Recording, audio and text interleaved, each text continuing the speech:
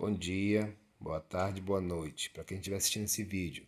Sou o professor de História Itamar e eu vou fazer um pequeno resumo sobre o nosso assunto chamado pré-história. Vou focar primeiro no primeiro período, que é o período paleolítico ou idade da pedra lascada. Bom, pessoal, a chamada pré-história ocorreu mais ou menos 10 mil anos antes de Cristo. E nós iniciaremos nosso estudo focado nesse período, que é considerado o mais longo da história humana, da existência humana, chamada pré-história, que significa todos os acontecimentos antes da invenção da escrita, quando o ser humano não dominava a escrita. Entendeu?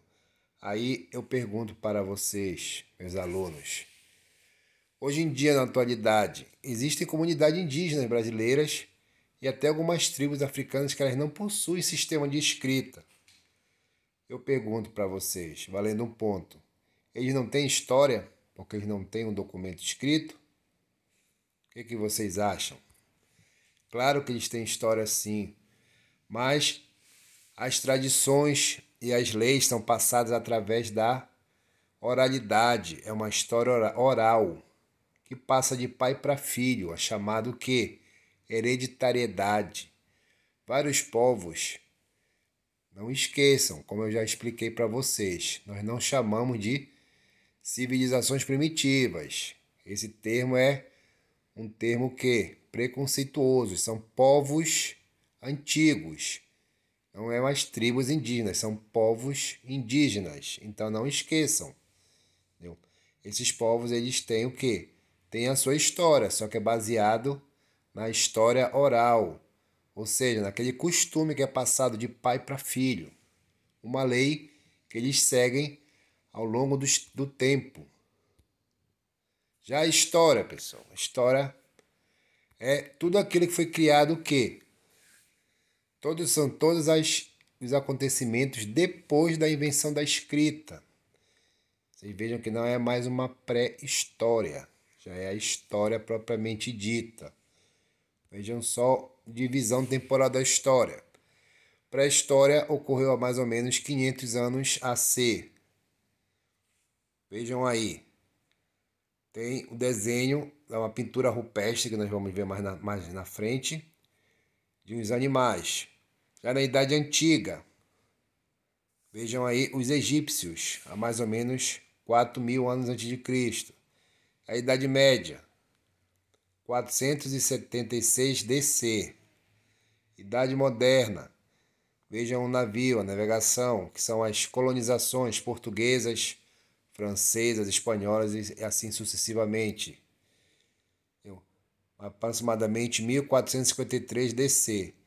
Idade Contemporânea, 1789 DC. Onde começaram o quê? As revoluções industriais, onde começaram os avanços tecnológicos, e hoje na nossa atualidade. Entendeu? É assim que se divide o que? A temporalidade da história, ou seja, a cronologia, que são os tempos no espaço, até os dias atuais. Voltando aqui para o assunto.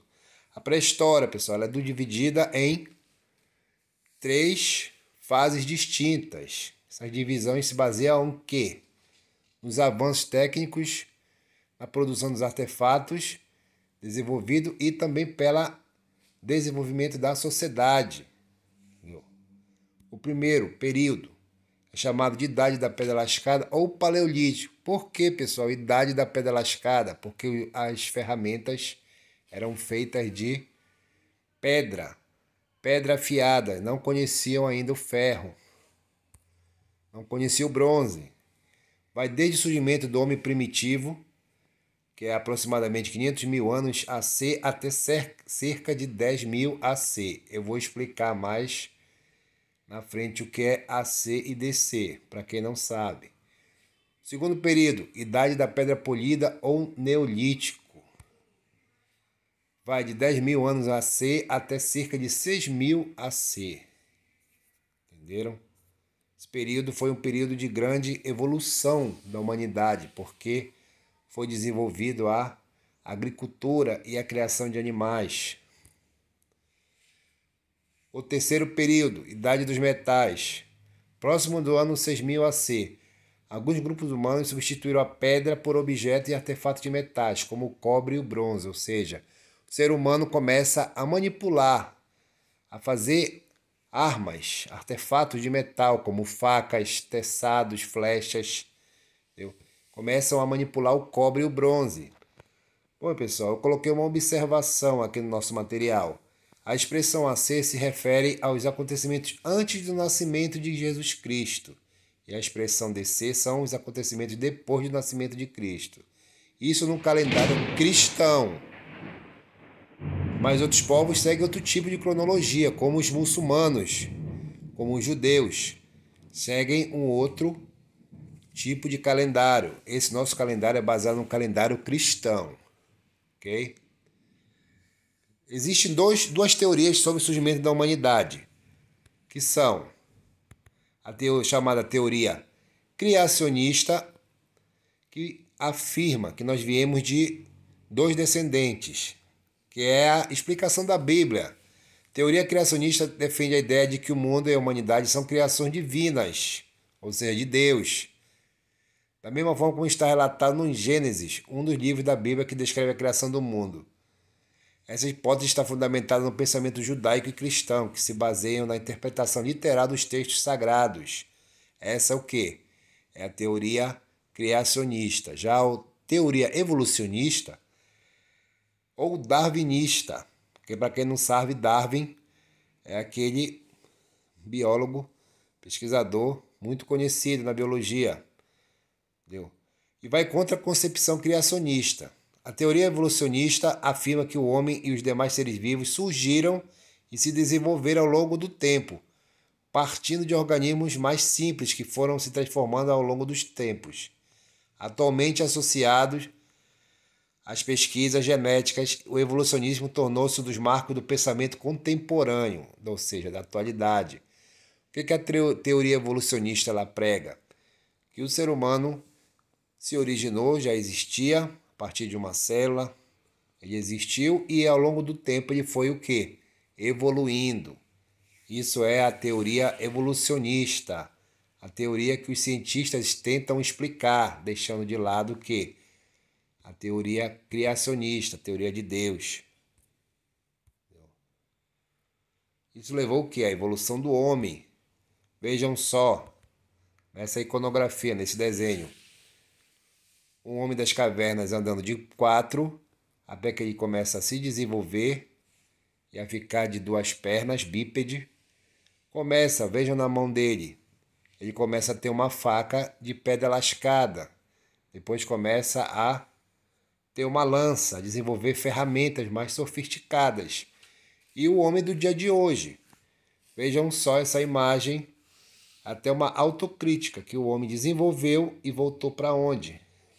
Voltou para ficar numa posição o quê? De quatro, porque hoje em dia o ser humano não, a maioria não corre atrás para desenvolver as coisas, ficam mais no computador, na informática. A informática tecnologia ela limitou bastante a criação dos seres humanos, por um lado. E agora eu pergunto para vocês: nós evoluímos do macaco? Nós somos descendentes do macaco? Quem responder para mim inscrito, mandar para o meu e-mail, vai ganhar um ponto. Claro que não. Nós somos o quê? Nós somos a raça dos Homo sapiens, somos a raça dos homens, chamados hominídeos. Então nós não viemos do macaco. Só que os primeiros habitantes, os primeiros seres das cavernas, eles tinham essa característica parecida com os macacos, porque até se assim fosse, hoje em dia os macacos não existiriam, teriam todos evoluídos para seres humanos e nós teríamos o quê? Várias sub-raças, várias outras raças de seres humanos. Entendeu? Então ele é parecido, ele é um parente próximo do ser humano, mas não quer dizer que seja um ser humano. Ok?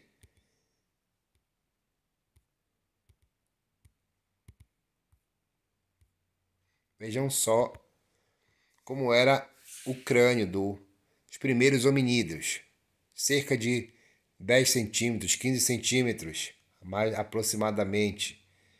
Já com o desenvolvimento, esse segundo crânio já tinha por volta de 30 centímetros. E esse nosso crânio agora é o nosso de hoje em dia, aproximadamente 45 a 50 centímetros. Vejam só que o primeiro crânio tinha o que?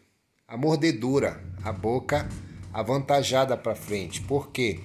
Porque era um crânio adaptado para roer raízes, para cortar carnes com, a, com um dente e não com as, com as facas que existem hoje em dia. O crânio dele era adaptado para o período que ele vivia. Então esses dentes eram mais fortes, acredito que mais fortes que os nossos de hoje em dia.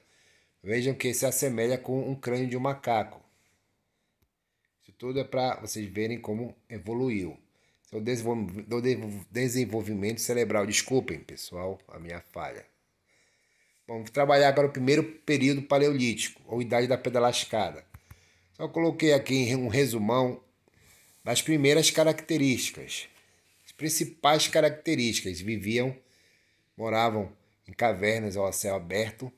Eram nômades. O que é nômade, pessoal? Aquele grupo de humanos que não tem residência fixa, que iam de região em região onde tinham o quê? Comida e água. Qual eram esses alimentos? Pescavam, eles pegavam peixe, caçavam e com o passar do tempo começaram o quê? a plantar. Mas isso só no período que neolítico. Como eram a fabricação desses instrumentos? Vejam só, no período paleolítico, pessoal, a principal descoberta foi o fogo. Quando o homem começou a manipular o fogo, ele começou o quê? A desenvolver a sua sociedade, começou a mudar as relações de trabalho. Vejam só, Homo habilis foi a primeira espécie que existiu. 2 milhões antes de Cristo. Aí depois veio o Homo erectus, que significa o homem que anda ereto. 1,4 milhões antes de Cristo. Homo sapiens e Homo sapiens sapiens, que é os nossos parentes mais próximos da atualidade. Vejam só a evolução. No começo ele andava sem roupa, não tinha não manipulava o fogo. Com o passar do tempo, ele já começou a manipular o fogo, começou a fabricar ferramentas como lanças e começou a usar roupa. Vejam que o Homo sapiens sapiens já está bem, bem evoluído, está andando bem ereto e até com sapatos. Outras coisas que eles fabricavam: arco, flechas, lâminas, raspadores para raspar o peixe e assim sucessivamente. Qual eram essas ferramentas, pessoal? Período paleolítico, vejam aí. Eles se utilizavam de pedra, como eu falei no início do vídeo, pedra lascada. Vejam esse machado, uma madeira com uma pedra amarrada na ponta. Trabalhavam em coletividade, pessoal. Tudo que eles faziam era coletivo. Eles dormiam juntos e caçavam juntos. Quem tiver oportunidade de assistir o filme 10 mil anos antes de Cristo vai perceber isso, que eles caçavam em coletividade. Outra coisa, eles não tinham documentos escritos, mas eles tinham o quê? As chamadas pinturas rupestres, que eram uma maneira de eles mostrarem a evolução da sociedade deles. Como eles faziam isso? Eles pintavam nas paredes o seu cotidiano, as chamadas pinturas rupestres. Vejam um exemplo. Tem um cavalo eles desenhavam na parede. Se nascia um filho, eles desenhavam tudo na parede das cavernas. Isso é uma maneira de se expressar universal das sociedades antigas. Deixavam o seu registro da sua, do seu cotidiano nas, nas paredes das cavernas. Vejam aí uma, um exemplo de pintura rupestre Pintura lá da França, há 17 mil anos antes de Cristo. Outra coisa, no início eles viviam em onde? Em grutas e cavernas. Isso foi muito fundamental, ó, como eles foram se desenvolvendo, o seu modo de viver foi também se aperfeiçoando. Não existia a propriedade privada nesse período. O que existia era propriedade coletiva. Vejam só na imagem, cabanas feitas com, com, com pele de animais, aonde todos eles moravam e dormiam, igual os povos indígenas da atualidade. Com o passar do tempo, com o passar dos períodos na idade dos metais, o ser humano já começou a adotar uma postura mais o quê? Uma postura mais privada. Já não estava mais pensando mais no coletivo. Por quê? Devido aos avanços tecnológicos, às ferramentas, à manipulação do seu espaço. Bom, pessoal, vou ficando por aqui. Esse nós trabalhamos, essas foram as principais características do período paleolítico. No próximo vídeo vamos trabalhar sobre o período neolítico e assim sucessivamente. Abraço a todos. Quem tiver dúvida pode me procurar no meu WhatsApp ou no meu Facebook. Abraço a todos.